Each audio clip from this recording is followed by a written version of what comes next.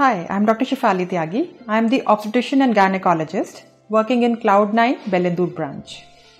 Family planning method for males. Actually, males don't have too many choices. Unfortunately, it's like the females department more to kind of plan for family planning. But the two available methods are one is a barrier contraceptive, also commonly known as condoms, so which will not allow the semen to flow out into the vagina.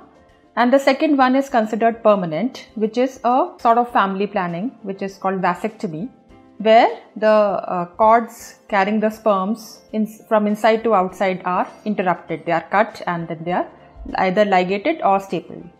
So these are the two available methods. The medicinal method had also come in, but it's still in the experimental stage and not available in India majorly. So essentially two methods remain.